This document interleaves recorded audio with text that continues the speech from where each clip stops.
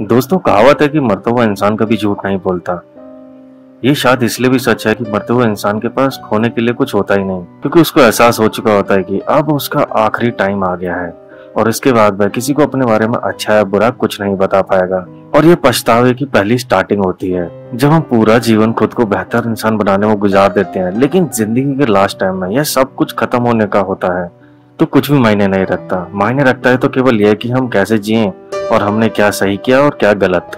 ऐसा क्या किया जो नहीं करना चाहिए था और ऐसा क्या नहीं किया जो करना चाहिए था? दोस्तों, जब मौत नज़दीक होती है तो इंसान इन सभी अच्छी, बुरे पलों को याद करता है, जो उसके जीवन में सबसे नज़दीक रहे और जिन्होंने उनके जीवन के रूप को मोड़ दिया। के साथ जाता है तो अच्छी बुरी यादें और कुछ पछताना। इंसान के अंतिम दिनों में पछतावे पर ब्रोनी बियर की एक किताब ने तहलका मचा दिया। हम उस किताब के टॉप पाँच पछतावों पर चर्चा करेंगे, जो ब्रॉनी बेयर ने अपनी बेस्ट सेलिंग किताब में लिखे हैं। नंबर एक, काश मैं दूसरों के अनुसार ना जीकर अपने अनुसार जीने की हिम्मत जुटा पाता। दोस्तों, यह सबसे ज़्यादा सामान्यतः पछतावा है। इसमें यह भी शामिल था कि जब तक हम यह महसूस करते हैं कि अच्छा स्वास्थ्य ही ज़िंदगी जीने की राह देता है, तब तक समय हाथ से निकल चुका होता है। ब्रॉनी बेयर ने बताया कि उन्होंने जितने भी मरीजों को उपचार किया, लगभग सभी को यह रिग्रेट था। और उन्होंने अपने रिश्तों को समय ना दे पाने की गलती की। और हम सभी ज़्यादातर यही करते हैं। ज़्यादातर मरीजों को पछतावा था कि उन्होंने अपना अधिकतर टाइम अपने काम को ही दिया, काम पे ही खर्च किया। उसमें से हर एक ने कहा कि थोड़ा टाइम वो अपने परिवार को दे देते, परिवार के लिए समय निकाल लेते तो ज़्यादा अच्छा होता।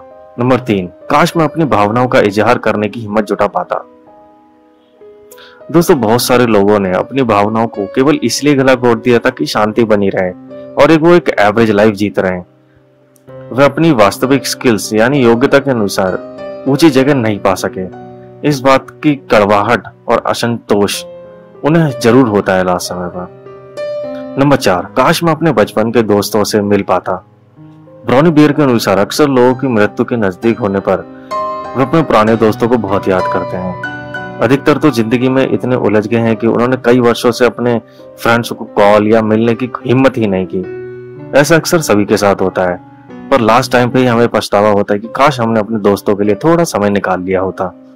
नंबर पाँच, काश मैं अपनी इच्छा अनुसार अपने आप को खुश रख पाता।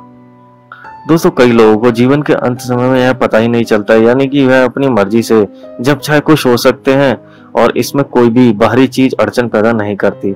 बशर्ते हम अपनी गुलामी वाली मानसिकता से बाहर निकले। तो दोस्तों, आप क्या समझे? जीवन को एक अलग नज़रिए से देखिए और आप पाएँगे कि आप जीवन के असली आनंद का अनुभव कर पा रहे हैं। वीडियो अच्छी लगी हो तो लाइक ज़रूर कर देना। चैनल पर पहली बार आए तो सब्सक्राइब ज़रूर कर लें। थैंक यू दोस्तों, मिलते हैं बहुत जल्द एक नए वीडियो के साथ। धन्यवाद।